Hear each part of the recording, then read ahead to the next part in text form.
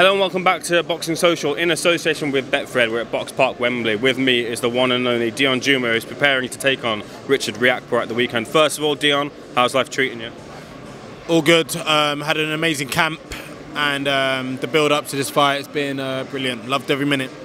Deion, can we rewind uh, quite a bit because you're a fighter who, uh, looking into and reading about uh, kind of the fighters as a whole, um, you had an injury coming into which you had to kind of come over.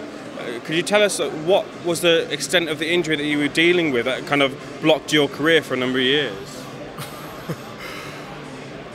We had a torn retina two years ago. Um, it took a year to heal from it, then took another year to get my license back. Here I am for a four rounder um, last month, was it? Last month.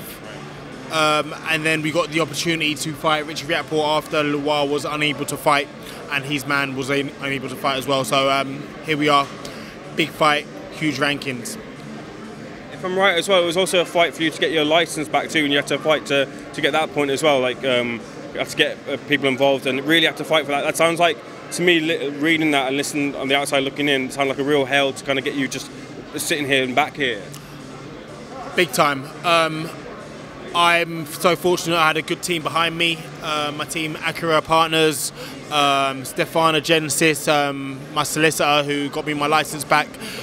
Um, it's been a real team effort to get me back here right in front of you right now and um, on the big stage, on the major stage. Now I'm headlining Wembley. Amazing. What's the feeling then, if you can kind of sum up and bottle up how you feel right now in terms of being being where you back want to be, where you should have been, you know, had the injury not happened? What's the feeling like for you? ready. I know that's not no big glamorous word, but I felt more. I've never felt more ready, just spiritually, mentally, physically connected. Normally something's always off, whether it be the physical or the mental, or something.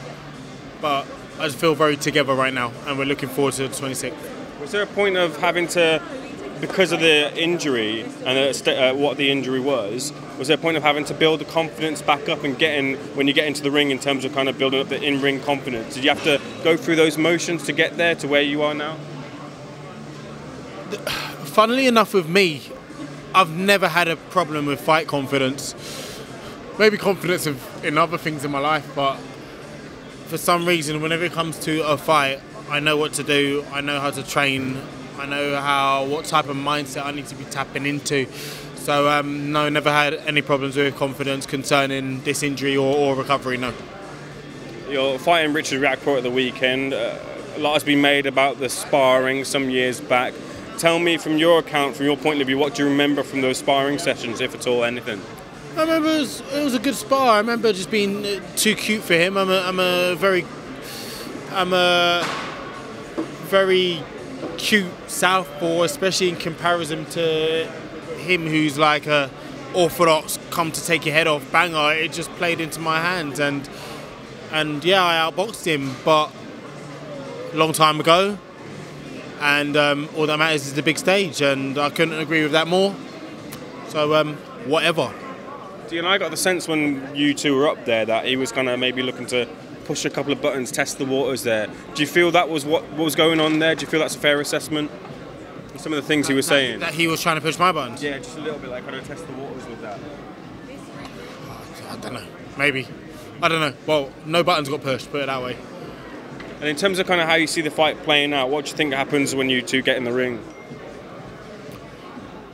I don't want to give too much away. Um, I feel like uh, Richard's got a couple ways now of fighting. He's got a couple ways he can approach this fight, and I'm ready for both of them. In terms of, uh, from your point of view, you're looking for the win, looking to get the win. That's what you're looking to plot to get to at the weekend. Where does a win put you in amongst the scene at the uh, cruiserweights?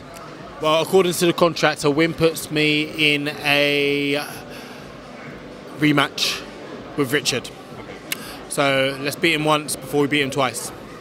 And finally, what can people expect to see from you at the weekend? I know you said obviously you're going to look to get the win, beat him once, beat him twice, but in terms of do you want to kind of put a point, uh, a, a victory out there that sends a statement to people to get yourself back out there, back to where you belong before you had the injury?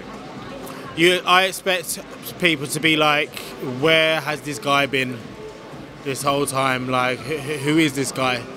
Um, the display I'm going to put on is going to be epic, to say the least. I think it's an epic fight. He's to come with what he he knows, and what he knows is to stop people. And I'm to be there right in front of him the whole time. So um, it's a big fight. Deion, it's a pleasure speaking to you. Thank you so much for being the Boxing Social. I wish you all the best at the weekend. Thank you so much.